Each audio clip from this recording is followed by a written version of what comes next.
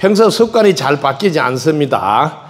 마음 공부를 하겠다고 마음 먹고 며칠 지나면 또 소홀해지고는 합니다. 어떻게 하면 마음 공부 습관을 자리 잡을 수 있게 할 수 있어요? 와, 박수 한번 치세요. 네.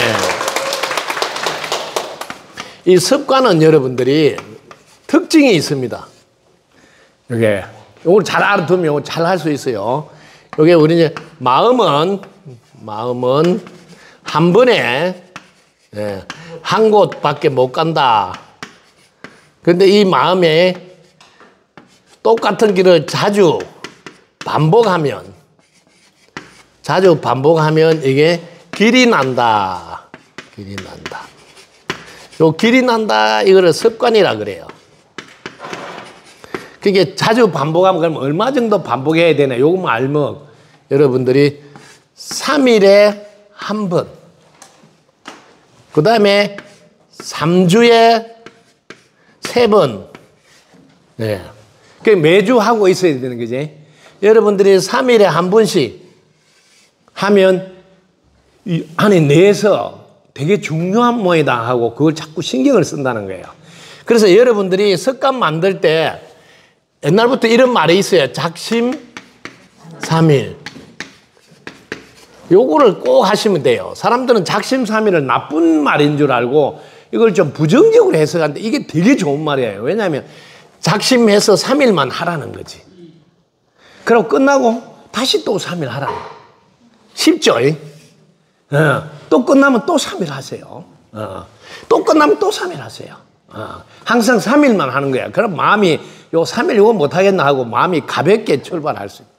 근데 우리는 항상 출발을 가볍게 하되 진행을 어떻게 해야 돼요? 어, 진행은 세심하게 해야 돼요. 세심하게 어떻게 하냐면 끝나고 나면 다시 3일 하는 거예요.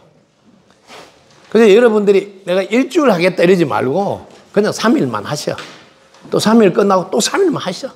또 3일 끝나고 또 3일만 하셔. 이런 식으로 이렇게 3일을 세 번만 하면 벌써 이 뇌에서는 아, 이거 되게 중요한 모이다. 이렇게 생각. 근데 이거를 3일 하고 그냥, 그냥 3일 쉬고 이래도 괜찮아요. 어쨌든 3주만 이렇게. 3주만 계속 하면 이거는 이제 꼭 기억해라고 신호를 보내는구나 하고 네, 특히 신경을 써서 입력을 해 놓습니다. 자, 이렇게 하면 됩니다. 3일 세 번만 하면 되는데, 어, 3일 한 번씩 세 번 하세요. 그러면 됩니다. 그 다음에 여러분들이 여기서 중요한 게이 이 습관이라는 것도 하나의 생명체예요. 사람으로 생각하시면 이분을 이분을 자기를 바꾸겠다 이러면 벌써 반발을 해요. 바꾸겠다면 반발한다.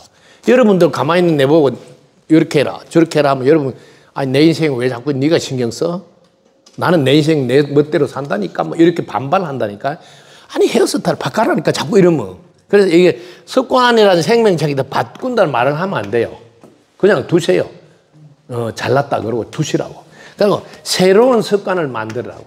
새로운 습관. 그럼 이거는 새로 태어난 분이니까 어릴 때부터 이거 말을 잘 듣게 길을 들이면 쉽겠죠. 이렇게 하시는 게 제일 안전빵이고 제대로 됩니다. 그래서 습관 바꾼다는 말도 꺼내지 마시라.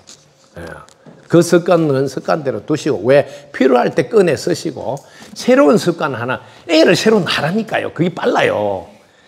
아니 다 큰 애를 뭐 수리 수리 하려고 해봐라. 머리 컸다고 말도 안 듣고 골치 아파. 내비 두고 새로 하나 만들어 가지고 예, 출발하는 게 빨라요. 이렇게 하시면 좋겠습니다. 빨리 애 낳아서 새로운 습관을 만드세요. 네, 이분은 벌써 벌써 습관이 바뀌었네요. 네, 새 습관이 생겼습니다. 축하의 박수 부탁드립니다. 네.